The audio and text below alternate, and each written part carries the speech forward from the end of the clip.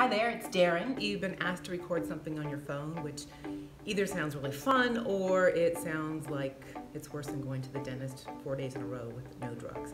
In any case, I'm going to give you some tips on this video that will set you up for success. Um, some absolutes at the start, and then as we go on, some things that will help this all be more flattering and maybe a little bit easier. So here we go.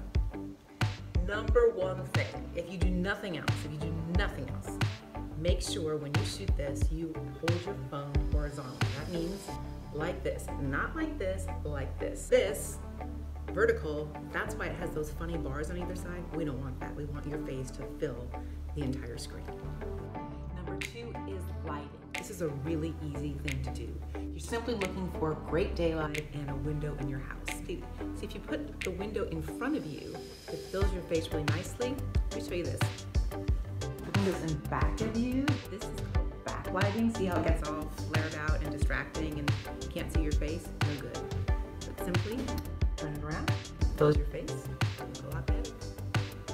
If you're doing a lot of Zoom calls, a lot of things on camera, you might want to invest in one of these halo lights. You can get them now for like 20, 25 bucks on Amazon or other places, but really you don't need it. You just need that good window light pouring in and filling in places. It's really the best thing that you can do. So halo light maybe, but really all you need is the window in front of your face, not back.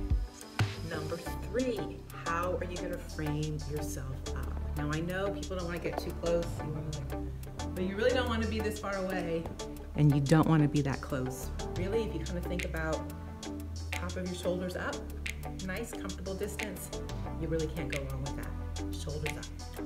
What are you going to wear? All right, this one's pretty simple. You want a solid color, and if you can have a bright color, that's even better. See, like a bright color against white background works really well. See, if I wear white against a white background, it's kind of washed out. I don't pop out. You don't want that. And if I wear a top with a busy pattern, like this one, I happen to really love this blouse, but you're looking at the flowers and all the things, that's where the eye is going instead of listening to what I have to say. So let's go back to the solid color. And finally, flattering. Let's do flattering. Where does your phone go? Okay, this is where you don't want it to go. You go down here, whoo, I don't even want you to see down there. But if you just hold it up just a little bit higher than your eyes and look down, that is gonna be your most flattering angle.